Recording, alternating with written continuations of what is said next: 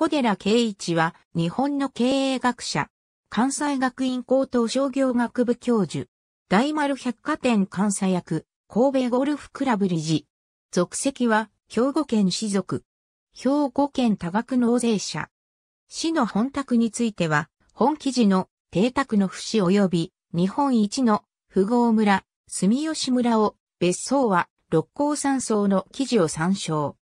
第十大学校法人関西学院委員長の小寺、竹四郎、元ユニチカ社長の小寺新六郎は老い。大日本宝石監査役の生児、成倉の長男として生まれる。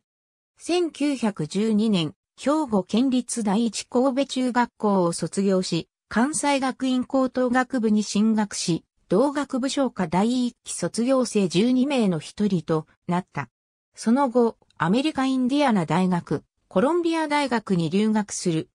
1919年、金が淵宝石に入り営業部取引係に勤務するが辞職し、1920年、関西学院高等学部教授に就任する。1940年、J.J. ミックルジュニアの公認として関西学院会計課長に1944年の組織改革による財務部発足時には、初代財務部長に就任した。その他、大丸百貨店監査役、神戸ゴルフクラブ理事も務めた。学生改革後は、関西学院短期大学昇華教授として経営学、貿易論あるいは商業英語を担当した。六甲の自宅別荘にて、現職のまま死去した。住吉村の本宅は、阪神間モダニズムの時期にウィリアム・メレルボーリズの設計で建てられた広そうなスペイン風建築で武田資料館の北隣にあった。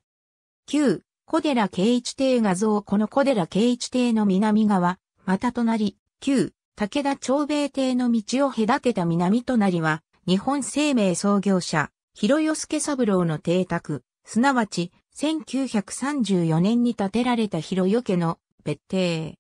1945年に占領軍の接収を心配した広与源が中国人貿易商の木1万円に売却し、中華料理店、蘇州園として使われた後、1995年より結婚式場。